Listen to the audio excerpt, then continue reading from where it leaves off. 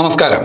സിന്ധു നദീതട കാലഘട്ടത്തിന് ശേഷം ഇന്ത്യയുടെ ചരിത്രത്തെ മുന്നോട്ട് നയിക്കുന്നത് ആര്യ കാലഘട്ടമാണ് ആ കാലഘട്ടത്തിലാണ് ഇന്ത്യയിൽ നാല് വേദങ്ങളും രചിക്കപ്പെട്ടത്. അതുകൊണ്ട് തന്നെ ആ കാലഘട്ടത്തെ വേദകാലഘട്ടം എന്നും പറയും. ഇന്ത്യയിൽ ഇരുമ്പിന്റെ ശക്തിയെ പരിചയപ്പെടുത്തിയത് ആര്യന്മാരാണ്. അവരാണ് ഇന്ത്യയിൽ കുതിരയുടെ കുളമ്പടി നാദം പരിചയപ്പെടുത്തിയത്. അവരാണ് ഇന്ത്യയിൽ കരിമ്പിന്റെ മധുരം പരിചയപ്പെടുത്തിയത്. അവർക്ക് ഗോതമ്പിന്റെ നിറമായിരുന്നു. ഇന്നത്തെ ക്ലാസ്സിൽ നമ്മൾ പഠിക്കുന്നത് ആര്യ കാലഘട്ടത്തെക്കുറിച്ചാണ് ഞാൻ അജിത് സുമേരു ഏവർക്കും ആസ്ഥ അക്കാഡമിയുടെ യൂട്യൂബ് ചാനലിലേക്ക് സ്വാഗതം.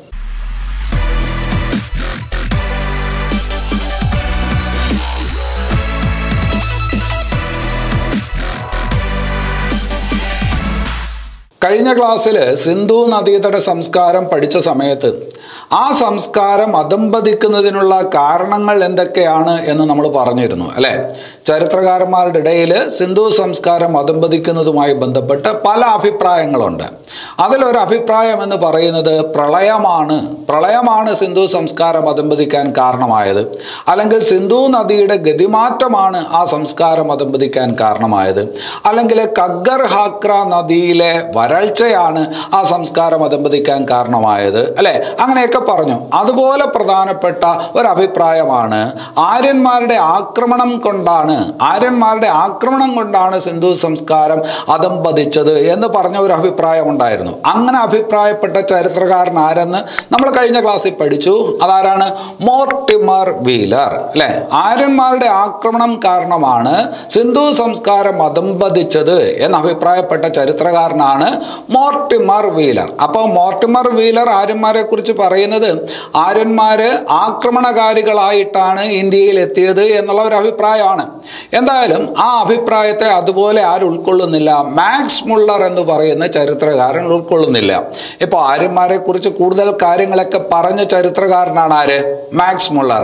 മാക്സ് മുള്ളർ എന്ന് പറയുന്ന ചരിത്രകാരൻ ജർമ്മൻ ചരിത്രകാരൻ പറയുന്നത് ഇങ്ങനെയാണ്. ആര്യന്മാർ ആക്രമണകാരികളായിട്ടല്ല ഇവിടെ വന്നത്. ആര്യന്മാർ ഇവിടെ വന്നത് അഭയാർത്ഥികളായിട്ടാണ് എന്നാണ്. അപ്പോൾ രണ്ട് അഭിപ്രായങ്ങൾ ആര്യന്മാർ ആക്രമണകാരികളായിട്ടാണ് ഇവിടെ വന്നത്. അവർ വന്നതുകൊണ്ടാണ് സിന്ധു സംസ്കാരം അധംപതിച്ചത് എന്ന് പറഞ്ഞ ചരിത്രകാരൻ മോർട്ടിമർ വീലർ ആണെങ്കിൽ ആര്യന്മാർ ആക്രമണകാരികളല്ല അവർ അഭയാർത്ഥികളായിട്ടാണ് ഇന്ത്യയിൽ എത്തിയത് എന്ന് പറഞ്ഞ ചരിത്രകാരനാണ് മാക്സ് മുള്ളർ. ഇനി അത് കഴിഞ്ഞിട്ട് ആര്യന്മാർ എവിടെ നിന്ന് വന്നു എന്നുള്ള കാര്യത്തിലും പലതരത്തിലുള്ള അഭിപ്രായങ്ങളുണ്ട്. അതിൽ ജർമ്മൻ ചരിത്രകാരനായിട്ടുള്ള മാക്സ് മുള്ളർ പറയുന്ന അഭിപ്രായം ആര്യന്മാര് മധ്യേഷ്യയിൽ നിന്ന് വന്നു എന്നാണ്. മധ്യേഷ്യ എന്ന് പറഞ്ഞു കഴിഞ്ഞാൽ സെൻട്രൽ ഏഷ്യ സെൻട്രൽ ഏഷ്യ എന്ന് പറയുമ്പോൾ നമ്മുടെ ഇന്നത്തെ ഇറാൻ. ആ ഇറാന്റെ ഭാഗത്ത് നിന്ന് വന്നു എന്നാണ് ആരുടെ അഭിപ്രായം? Max Muller. അപ്പോൾ ആര്യന്മാർ എവിടെ നിന്ന് വന്നു എന്ന് ചോദിച്ചാൽ സെൻട്രൽ ഏഷ്യയിൽ നിന്ന് വന്നു എന്നുള്ള അഭിപ്രായമാണ് ആർക്കുള്ളത്? മാക്സ് മുള്ളർക്കുള്ളത്. അതേസമയം നമ്മുടെ ബാലഗംഗാധര തിലക്. ബാലഗംഗാധര തിലകിനെ പോലുള്ളവരുടെ അഭിപ്രായത്തിൽ അവർ ആർട്ടിക് മേഖലയിൽ നിന്ന് വന്നു എന്നാണ്. ആര്യന്മാർ ആർട്ടിക് മേഖലയിൽ നിന്ന് വന്നു എന്നാണ് ആരുടെ അഭിപ്രായം? ബാലഗംഗാധര തിലകിന്റെ അഭിപ്രായം. അദ്ദേഹത്തിന്റെ ഒരു പുസ്തകമുണ്ട് Arctic home in the Vedas Arctic home in the Vedas എന്ന് പറയുന്ന കൃതി ആര് രചിച്ചു എന്ന് ചോദിച്ചാൽ അത് ആരാണ്? ബാലഗംഗാധര തിലകാണ്.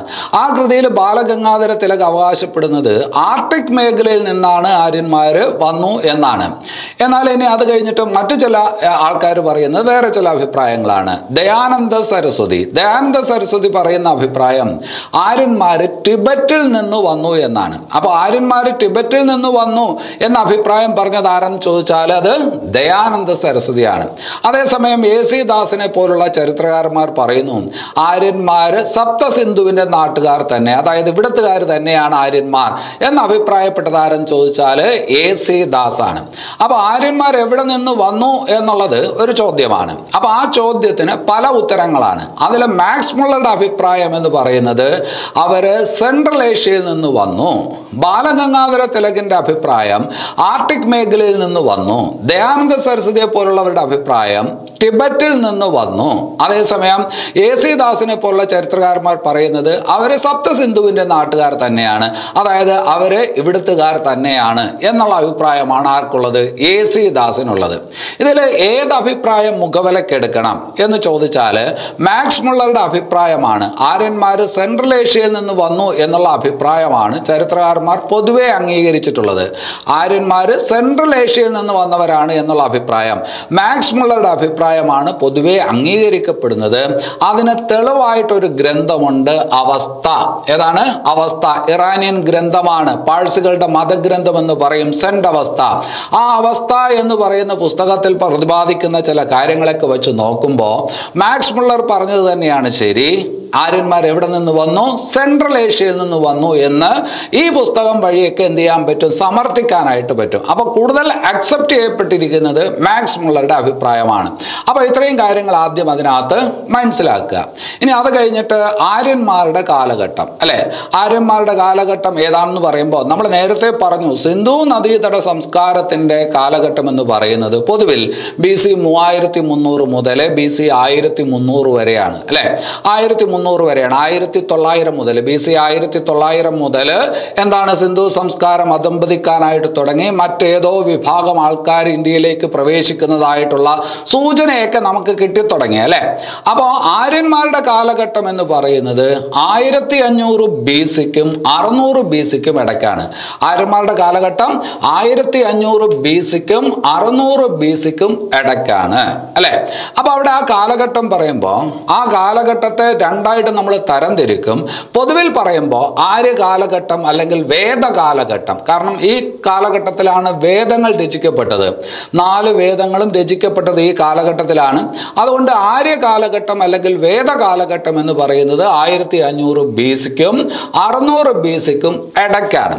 ആര്യന്മാർ ആദ്യം ഇവിടെ വരുന്നത് എവിടെയാണ്? പഞ്ചാബിലാണ്.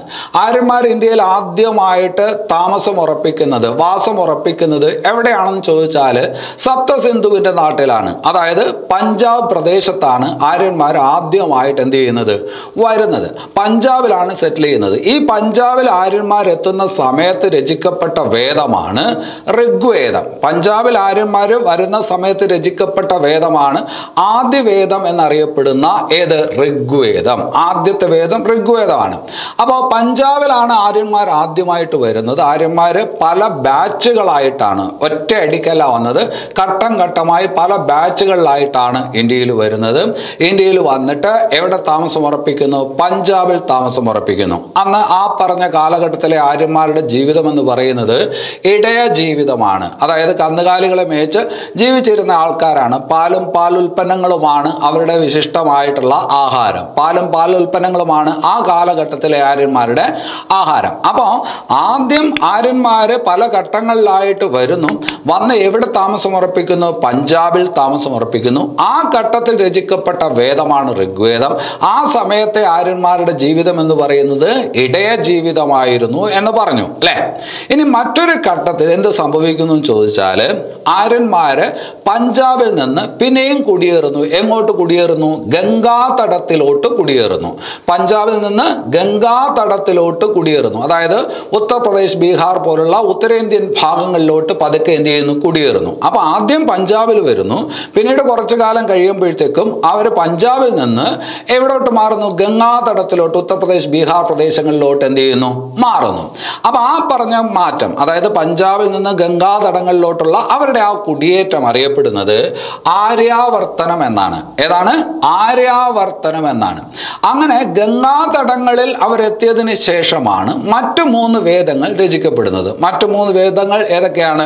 യജുർവേദം സാമവേദം അഥർവവേദം എന്നിങ്ങനെയുള്ള മറ്റു മൂന്ന് വേദങ്ങൾ രചിക്കപ്പെട്ടത്. അല്ലെ? അപ്പൊ ഇവിടെ ചില കാര്യങ്ങളായി. അതായത് ആദ്യകാല ആര്യന്മാരെ കുറിച്ച് സൂചന നൽകുന്ന അറിവ് നൽകുന്ന വേദം ഏതാണ്? ആദ്യകാല ആര്യന്മാരെ കുറിച്ച് അറിവ് നൽകുന്ന വേദം ഏതെന്ന് ചോദിച്ചാൽ പഞ്ചാബിൽ അവർ താമസം ഉറപ്പിച്ച കാലഘട്ടത്തിൽ രചിക്കപ്പെട്ട വേദമാണ് അല്ലെ? അതേതാണ്? ഋഗ്വേദം ഋഗ്വേദം. ഇനി അത് കഴിഞ്ഞിട്ട് പിൽക്കാല ആര്യ ജീവിതത്തെ കുറിച്ച് പിൽക്കാല ആര്യ ജീവിതം എന്ന് പറഞ്ഞാൽ ഗംഗാതടങ്ങളിലോട്ട് അവർ വാസം ഉറപ്പിച്ചതിന് ശേഷമുള്ള കാലം. പിൽക്കാല ആര്യ ജീവിതത്തെ കുറിച്ച് ആ വെളിച്ചം നൽകുന്ന വേദങ്ങൾ ഏതൊക്കെയും ചോദിച്ചാൽ ആ വേദങ്ങൾ എന്ന് പറയുന്നത് ഏതാണ്? യജുർവേദം സാമവേദം അഥർവവേദം അല്ലെ? അപ്പോ ഇവിടെ ഒരു കാര്യം നിങ്ങൾക്ക് മനസ്സിലായി. ഇവിടെ മനസ്സിലായിട്ടുള്ള ഒരു കാര്യം എന്താണ്? ആര്യ കാലഘട്ടത്തെ തന്നെ രണ്ടായിട്ട് അടയാളപ്പെടുത്താം അല്ലെ? ആര്യ കാലഘട്ടത്തെ രണ്ടായിട്ട് അടയാളപ്പെടുത്താം. അതായത് അവരാദ്യം പഞ്ചാബ് സമതലത്തിൽ താമസം ഉറപ്പിക്കുന്ന കാലഘട്ടം. ആ കാലഘട്ടം എന്ന് പറയുന്നത് ബി സി ആയിരത്തി അഞ്ഞൂറിനും ആയിരത്തിനും ഇടയ്ക്കുള്ള കാലഘട്ടമാണ്. ബി സി ആയിരത്തി അഞ്ഞൂറിനും ആയിരത്തിനും ഇടയ്ക്കുള്ള കാലഘട്ടം. അതാണ് ഋഗ്വേദം രചിക്കപ്പെട്ട കാലഘട്ടം ഋഗ്വേദ കാലഘട്ടം ആദ്യകാല ആര്യന്മാരുടെ കാലഘട്ടം. അല്ലെ? പൊതുവിൽ ആര്യന്മാരുടെ കാലഘട്ടം ആയിരത്തി അഞ്ഞൂറ് ബി സിക്ക് അറുന്നൂറ് ബി സിക്ക് ഇടക്കാണെങ്കിലും ആദ്യകാലത്തിലെ ആര്യന്മാരുടെ കാലഘട്ടം എന്ന് പറയുന്നത് ആയിരത്തി അഞ്ഞൂറ് ബി സിക്കും ആയിരം ബി സിക്കും ഇടക്കാണ് അതാണ് ഋഗ്വേദം രചിക്കപ്പെട്ട കാലഘട്ടം ഋഗ്വേദ കാലഘട്ടം. ഇനി അത് കഴിഞ്ഞിട്ട് അടുത്തൊരു കാലഘട്ടം എന്ന് പറയുന്നത് ആയിരം ബി സിക്കും ആയിരം ബി സിക്കും അറുന്നൂറ് ബി സിക്കും ഇടയ്ക്കുള്ള കാലഘട്ടമാണ്. അടുത്ത കാലഘട്ടം. ആയിരം ബി സിക്കും അറുന്നൂറ് ബി സിക്കും ഇടയ്ക്കുള്ള കാലഘട്ടത്തിന്റെ പ്രത്യേകത എന്താണ്? ആ കാലഘട്ടത്തിലാണ് മറ്റു വേദങ്ങൾ രചിക്കപ്പെട്ടത്. അതായത് ആര്യന്മാര് പഞ്ചാബിൽ നിന്ന് ഗംഗാതടത്തിലോട്ട് കുടിയേറിയ കാലഘട്ടം കുടിയേറിയ കാലഘട്ടം ആര്യാവർത്തനത്തിന്റെ കാലഘട്ടം. അപ്പൊ നമ്മൾ പറയും പിൽക്കാല വേദ കാലഘട്ടം എന്ന് പറയും. ആദ്യം വേദകാലഘട്ടം. വേദകാലഘട്ടം എന്ന് പറഞ്ഞാൽ ഋഗ്വേദം രചിക്കപ്പെട്ട കാലഘട്ടം. പിന്നീട് അവരുടെ കാര്യം പറയുമ്പോൾ പിൽക്കാല വേദകാലഘട്ടം എന്ന് പറയും. പിൽക്കാല വേദകാലഘട്ടം എന്ന് പറയും. അപ്പൊ ആ രണ്ട് കാര്യങ്ങൾ അവിടെ ഓർത്തോണം. ആര്യന്മാർ ആദ്യം എവിടെ വന്നു? പിന്നീട് എങ്ങോട്ട് മൈഗ്രേറ്റ് ചെയ്തു? അതിനനുസരിച്ച് ടൈം പീരീഡിനെ നമ്മൾ എങ്ങനെ ഡിവൈഡ് ചെയ്തു? ആയിരത്തി അഞ്ഞൂറ് ബി സിക്കും ആയിരം ബി സിക്കും ഇടയ്ക്കുള്ള കാലഘട്ടം ഋഗ്വേദ കാലഘട്ടം. അതിനുശേഷമുള്ളത് പിൽക്കാല വേദ കാലഘട്ടം എന്ന് പറയും. ആദ്യത്തെ വേദം എപ്പോഴെഴുതി പിന്നീടുള്ള മൂന്ന് വേദങ്ങൾ എപ്പോൾ എഴുതി? എന്നുള്ളത് ഓർക്കണം. ഇവിടെ നിങ്ങൾക്ക് വേറൊരു കാര്യം കൂടി മനസ്സിലായിക്കോണം. ആയിരം ബി സി ആയിരം ബി സി ആവുമ്പോഴാണ് ഇന്ത്യയിൽ ഇരുമ്പ് യുഗം ആരംഭിക്കുന്നത് അല്ലെ? അയൺ ഏജ് അയൺ ഏജ് എന്ന് പറയുന്നത് എവിടെയാണ് ആരംഭിക്കുന്നത്? ആയിരം ബി സിയിലാണ് എന്ന് പറഞ്ഞാൽ ആര്യന്മാര് ഗംഗാതടത്തിൽ അധിവാസം ഉറപ്പിക്കുന്ന സമയം മുതലാണ് ഇന്ത്യയിൽ ഇരുമ്പ് യുഗം ആരംഭിക്കുന്നത്. അപ്പൊ അത്രയും കാര്യങ്ങൾ അവിടെ മനസ്സിലാക്കി വയ്ക്കാം ഇനി അത് കഴിഞ്ഞിട്ട് ആര്യന്മാരെ കുറിച്ചുള്ള അറിവ് നൽകുന്നത് ആദ്യം അറിവ് നൽകുന്ന പുസ്തകം ഏതാണ്? അത് ഋഗ്വേദമാണ് അല്ലെ? ആര്യന്മാരെ കുറിച്ചുള്ള ആദ്യത്തെ അറിവ് നൽകുന്നത് കൃതി ഏതെന്ന് ചോദിച്ചാൽ ഗ്രന്ഥം ഏതെന്ന് ചോദിച്ചാൽ ഋഗ്വേദമാണ്. നാല് വേദങ്ങളിൽ ആദ്യത്തെ വേദം ഋഗ്വേദമാണ്. അല്ലേ? ശരി ആ ഋഗ്വേദം രചിക്കപ്പെട്ട കാലഘട്ടമാണ് ആയിരത്തി അഞ്ഞൂറ് ബി സിക്കും ആയിരം ബി സിക്കും ഇടയ്ക്ക്. അല്ലേ? ഋഗ്വേദം എന്ന് പറഞ്ഞാൽ എന്താണ്? ഋഗ്വേദം എന്ന് പറഞ്ഞാൽ ദേവസ്തുതികളാണ്. ഋഗ്വേദം എന്ന് പറഞ്ഞാൽ ദൈവത്തെ പ്രകീർത്തിക്കുന്ന സ്തുതികളാണ് ആ കാലഘട്ടത്തിൽ അവരുടെ ദൈവം. ഏതൊക്കെയാണെന്ന് നമുക്ക് പിന്നീട് പറയാം. അഗ്നി ഇന്ദ്രൻ വായു മരുത്ത് പോലുള്ള ഒരുപാട് ദൈവങ്ങളുണ്ട്. അതൊക്കെ നമുക്ക് എന്താണെന്ന് പിന്നീട് പറയാം. അപ്പൊ ഋഗ്വേദത്തിൽ എന്താണ് എന്ന് ചോദിച്ചാൽ ദേവസ്തുതികളാണ് ദൈവങ്ങളെ പ്രകീർത്തിക്കുന്ന ശ്ലോകങ്ങളാണ് ഇവിടെയുള്ളത് ഋഗ്വേദത്തിലുള്ളത്. ഋഗ്വേദത്തിൽ എത്ര മണ്ഡലമുണ്ട് എന്ന് ചോദിച്ചാൽ പത്ത് മണ്ഡലം. ഒരു പുസ്തകത്തിൽ എത്ര അധ്യായമുണ്ട് എന്ന് ചോദിക്കും അല്ലേ? നമ്മളിപ്പോൾ മഹാഭാരതത്തിൽ എത്ര പർവമുണ്ട് രാമായണത്തിൽ എത്ര കാണ്ഡമുണ്ട് എന്നൊക്കെ ചോദിക്കുന്നത് പോലെ ഋഗ്വേദത്തിൽ എത്ര മണ്ഡലങ്ങളുണ്ട് എന്ന് ചോദിച്ചാൽ പത്ത് മണ്ഡലങ്ങളാണ്. ഋഗ്വേദത്തിൽ എത്ര മണ്ഡലങ്ങളാണ്? പത്ത് മണ്ഡലങ്ങളാണ്. ഓരോ മണ്ഡലങ്ങളും പിന്നീട് സൂക്തങ്ങളായും വിഭജിക്കപ്പെട്ടിട്ടുണ്ട്. അപ്പൊ ഋഗ്വേദത്തിൽ എത്ര മണ്ഡലമുണ്ടെന്ന് ചോദിച്ചാൽ പത്ത് മണ്ഡലമാണ്. പത്ത് മണ്ഡലങ്ങളിലായിട്ട് ആയിരത്തി ഇരുപത്തിയെട്ട് സൂക്തങ്ങളുണ്ട്. പത്ത് മണ്ഡലങ്ങളിലായിട്ട് ആയിരത്തി ഇരുപത്തിയെട്ട് സൂക്തങ്ങൾ. അപ്പോ ഋഗ്വേദം ഋഗ്വേദം ആദിവേദം. ഋഗ്വേദം ആദിവേദം എന്ന് നമ്മൾ പറയും. ഇൻഡോ യൂറോപ്യൻ ഭാഷയിൽ രചിക്കപ്പെട്ട ആദ്യ കൃതി ഇൻഡോ യൂറോപ്യൻ ഭാഷയിൽ രചിക്കപ്പെട്ട ആദ്യ കൃതി എന്ന് ചോദിച്ചാലും ഋഗ്വേദം എന്ന് പറയും. ഇപ്പൊ ലാറ്റിൻ ഗ്രീക്ക് സംസ്കൃതം ഒക്കെ ഏതാണ്? ഇൻഡോ യൂറോപ്യൻ ഭാഷാ കുടുംബത്തിൽപ്പെട്ട ഭാഷകളാണ്. Latin Greek Samskritam. ഇതിൽ ആര്യന്മാരുടെ ഭാഷ ഏതാണ്? സംസ്കൃതമാണ്. ആര്യന്മാരെന്ന് പറയുന്നത് ഇൻഡോ യൂറോപ്യൻ ഭാഷാ കുടുംബത്തിൽ പെടുന്നവരാണ് അപ്പോൾ ഇൻഡോ യൂറോപ്യൻ ഭാഷയിൽ രചിക്കപ്പെട്ട ആദ്യ കൃതിയാണ് ഋഗ്വേദം. ഋഗ്വേദം എന്ന് പറയുന്നത് ദേവസ്തുതികളാണ്. ഋഗ്വേദത്തിൽ പത്ത് മണ്ഡലങ്ങളുണ്ട്. ആ പത്ത് മണ്ഡലങ്ങളിൽ ആയിരത്തി ഇരുപത്തി എട്ട് സൂക്തങ്ങളുണ്ട്. പത്ത് മണ്ഡലങ്ങളിലായിട്ട് ആയിരത്തി ഇരുപത്തി എട്ട് സൂക്തങ്ങളുണ്ട്. അതുപോലെ ഋഗ്വേദത്തിന്റെ ഒരു പ്രത്യേകത എന്താണെന്ന് ചോദിച്ചു കഴിഞ്ഞാൽ ഒന്ന് ആദ്യകാല ആര്യന്മാരുടെ ജീവിതത്തെക്കുറിച്ചുള്ള അറിവ് നൽകുന്നു അതൊരു കാര്യമാണ്. അതുപോലെ തന്നെ വർണ വ്യവസ്ഥയെക്കുറിച്ച് പ്രതിപാദിക്കുന്ന അല്ലെങ്കിൽ ഇന്ത്യയിലെ ജാതി വ്യവസ്ഥയെക്കുറിച്ച് പ്രതിപാദിക്കുന്ന ആദ്യ കൃതി ഇന്ത്യയിലെ ജാതി വ്യവസ്ഥയെക്കുറിച്ച് പ്രതിപാദിക്കുന്ന ആദ്യ കൃതി എന്ന് ചോദിച്ചാലും ഏതാണ്? ഋഗ്വേദമാണ്. വർണവ്യവസ്ഥയെക്കുറിച്ച് അല്ലെ? ഋഗ്വേദത്തിൽ വർണവ്യവസ്ഥയെക്കുറിച്ച് പ്രതിപാദിക്കുന്നത് ഏത് മണ്ഡലത്തിലാണ് എന്ന് ചോദിച്ചാൽ പത്താമത്തെ മണ്ഡലത്തിലാണ്. ഋഗ്വേദത്തിൽ വർണവ്യവസ്ഥയെക്കുറിച്ച് പ്രതിപാദിക്കുന്ന മണ്ഡലം ജാതി വ്യവസ്ഥയെക്കുറിച്ച് പ്രതിപാദിക്കുന്ന മണ്ഡലം ഏതെന്ന് ചോദിച്ചാൽ പത്താമത്തെ മണ്ഡലത്തിലാണ്. പത്താമത്തെ മണ്ഡലത്തിൽ പുരുഷ സൂക്തത്തിലാണ് മണ്ഡലം പിന്നെ സൂക്തങ്ങളായി വിഭജിച്ചിട്ടുണ്ടെന്ന് പറഞ്ഞു. പത്താമത്തെ മണ്ഡലത്തിൽ പുരുഷ സൂക്തത്തിലാണ് ജാതി വ്യവസ്ഥയെക്കുറിച്ച് ഏതിൽ പരാമർശം? ഋഗ്വേദത്തിൽ പരാമർശമുള്ളത്.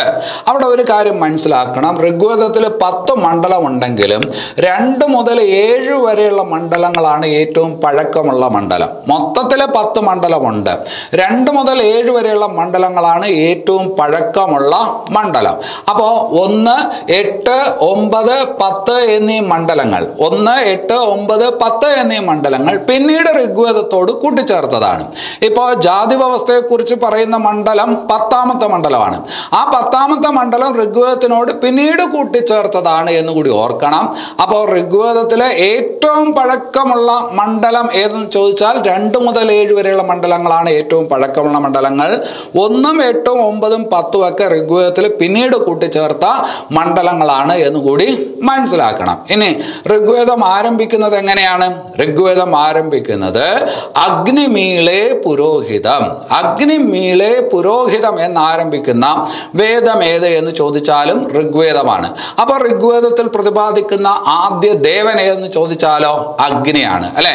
ഋഗ്വേദത്തിൽ പ്രതിപാദിക്കുന്ന ആദ്യ ദേവൻ അഗ്നിയാണ്. ദേവസ്തുതികളാണ് ഋഗ്വേദം. ഋഗ്വേദത്തിൽ പ്രതിപാദിക്കുന്ന ആദ്യ ദേവൻ ഏതെന്ന് ചോദിച്ചാൽ അഗ്നിയാണ്. പക്ഷെ തെറ്റിപ്പോകരുത് ഋഗ്വേദത്തിലെ ഏറ്റവും പ്രാധാന്യമുള്ള ദേവൻ ഏത്? ഋഗ്വേദത്തിൽ ഏറ്റവും പ്രാധാന്യമുള്ള ദേവൻ ഏതെന്ന് ചോദിച്ചാൽ ഇന്ദ്രനാണ്. ഋഗ്വേദത്തിൽ ഏറ്റവും പ്രാധാന്യമുള്ള ദേവൻ ഇന്ദ്രനാണ്. ആദ്യകാല ആര്യന്മാരുടെ ജീവിതത്തിൽ ഏറ്റവും പ്രാധാന്യമുണ്ടായിരുന്ന ദേവൻ ഇന്ദ്രനാണ്.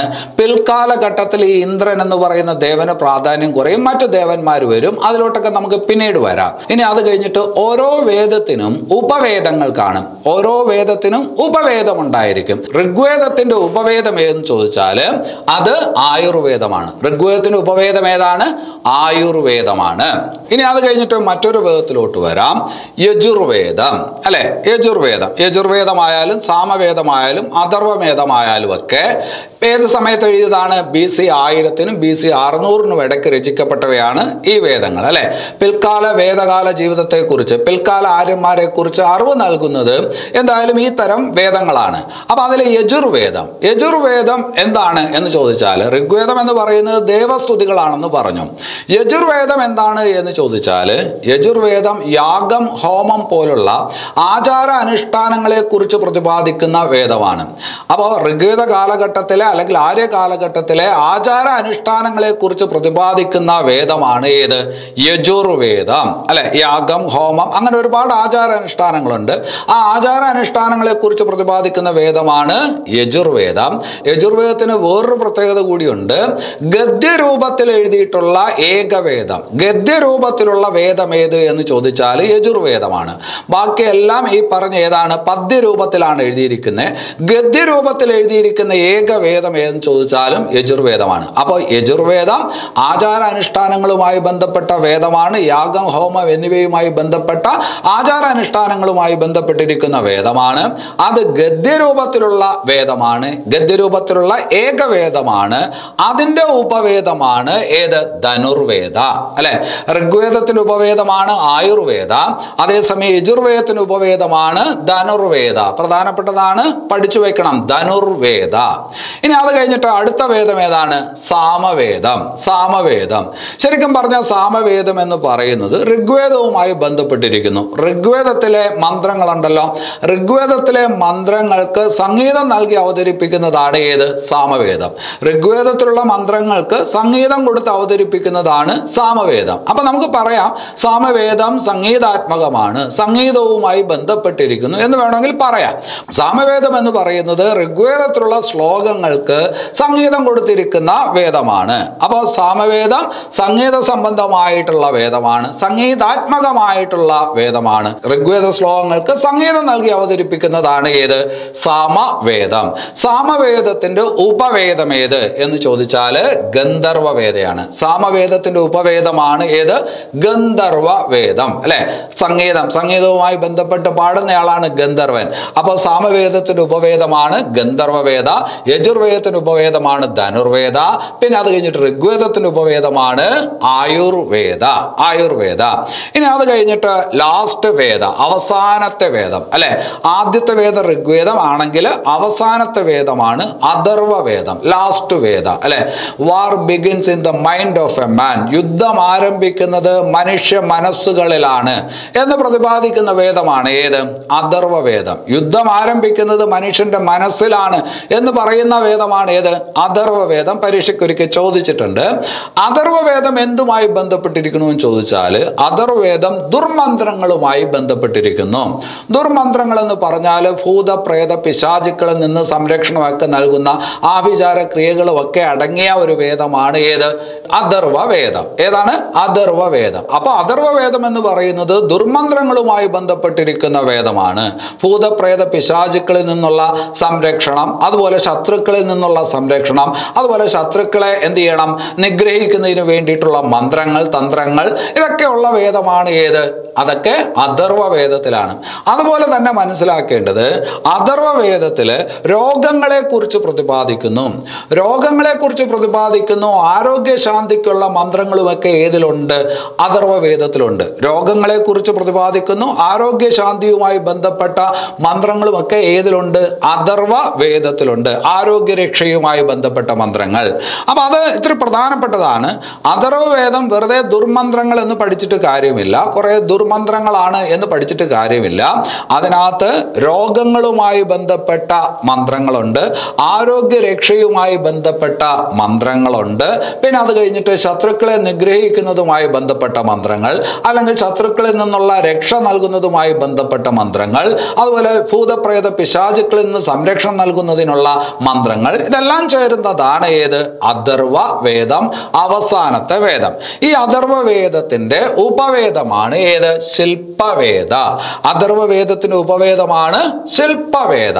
എന്നാൽ വേറൊരു കാര്യം ഇവിടെ പ്രത്യേകം നിങ്ങൾ ശ്രദ്ധിച്ചോണം രോഗങ്ങളെക്കുറിച്ചും ആരോഗ്യരക്ഷയെക്കുറിച്ചുമുള്ള മന്ത്രങ്ങളുള്ള വേദമാണ് അഥർവ വേദം അപ്പോൾ ആയുർവേദം ഉത്ഭവിച്ചത് ഏത് വേദത്തിൽ നിന്നാണ് എന്ന് ചോദിച്ചാൽ അഥർവ വേദത്തിൽ നിന്ന് പറയാം.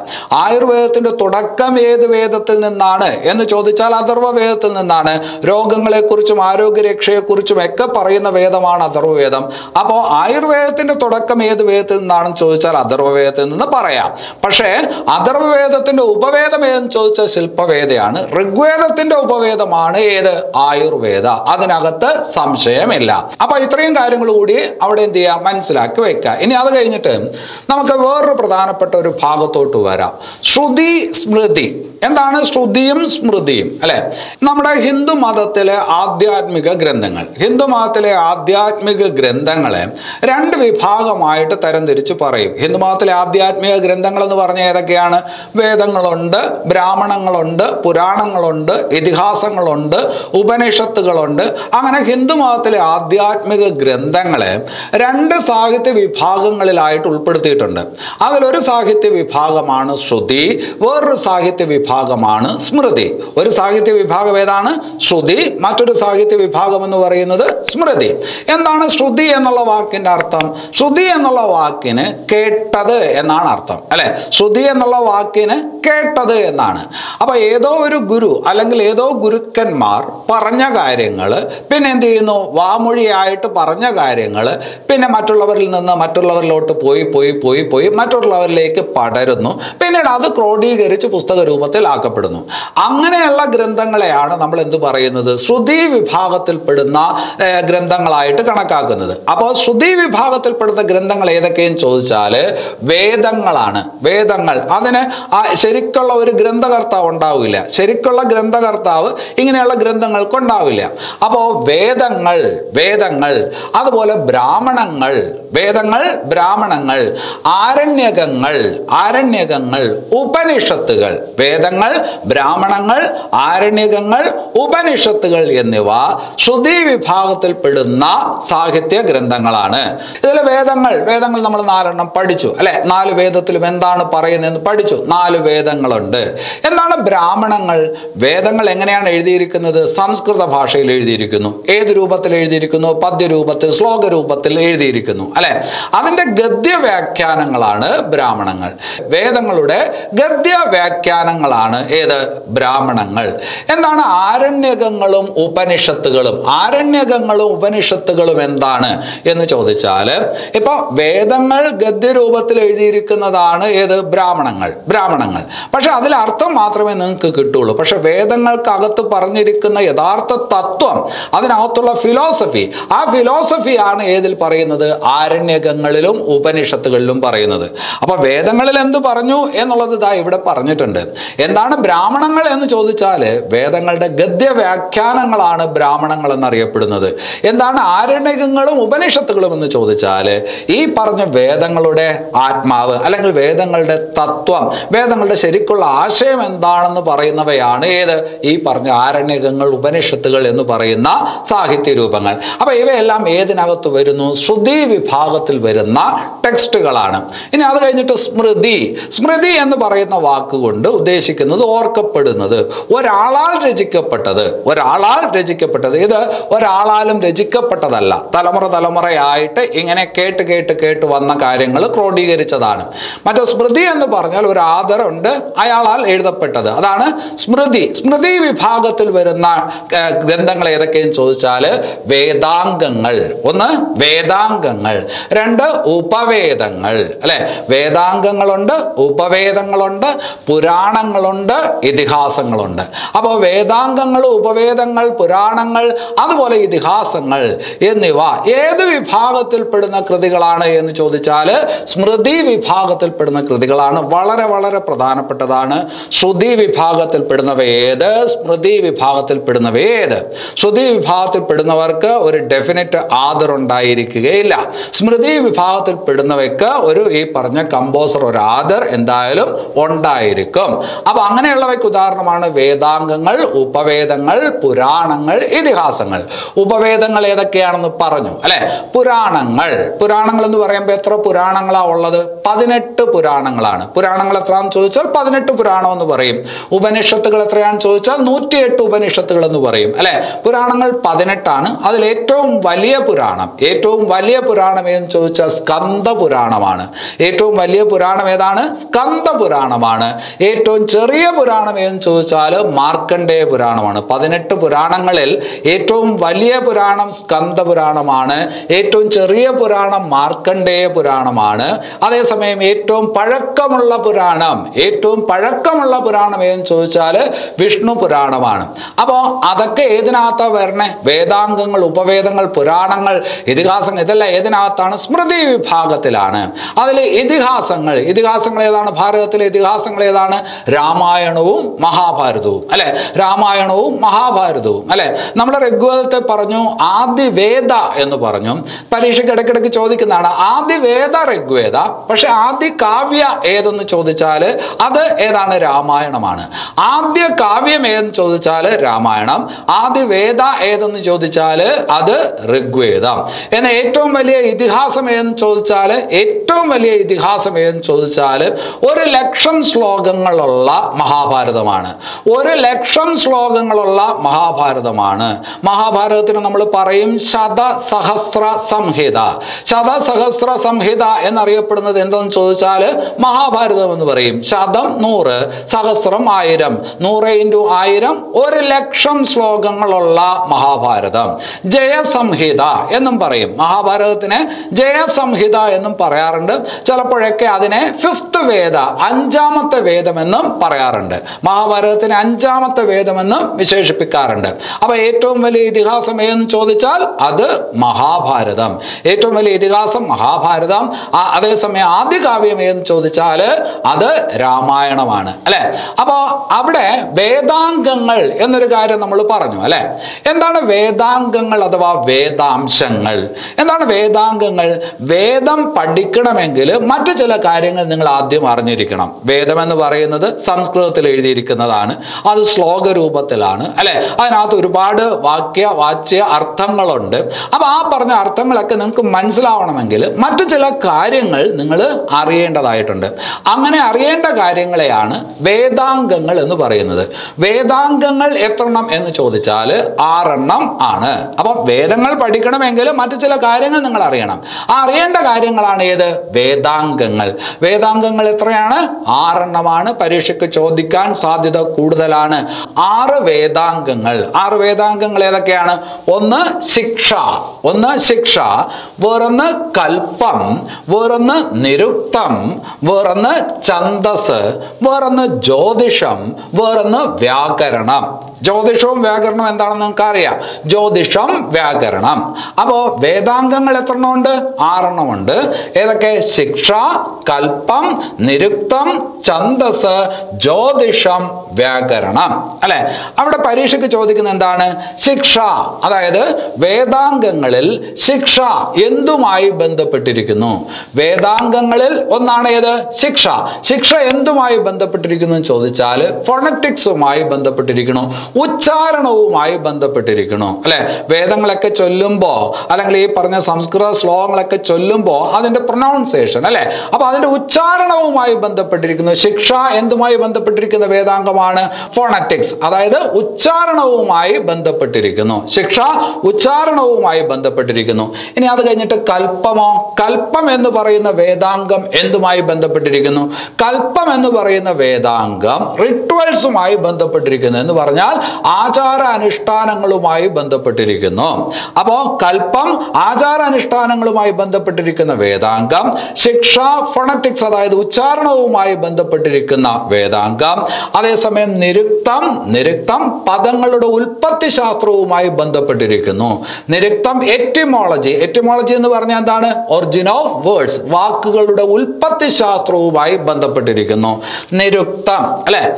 അപ്പൊ അത് കഴിഞ്ഞിട്ട് അടുത്തത് ഛന്ദസ്. ഛന്ദസ് എന്തുമായി ബന്ധപ്പെട്ടിരിക്കുന്നു എന്ന് ചോദിച്ചാൽ വൃത്തശാസ്ത്രവുമായി ബന്ധപ്പെട്ടിരിക്കുന്നു. ശ്ലോകങ്ങളൊക്കെ എഴുതുന്നത് ഒരു വൃത്തത്തിലാണ്. വൃത്തശാസ്ത്രവുമായി ബന്ധപ്പെട്ടിരിക്കുന്നു ഛന്ദസ്. അല്ലെ? ജ്യോതിഷവും വ്യാകരണവും ഒക്കെ നിങ്ങൾക്ക് അറിയാം അത് എന്താണെന്ന് ചോദിച്ചാൽ നിങ്ങൾക്ക് എഴുതാം.